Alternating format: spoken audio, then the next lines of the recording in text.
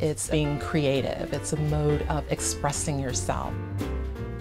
If you're ever having a birthday party, a girls' night out, if you can't come to me, I can bring the party to you.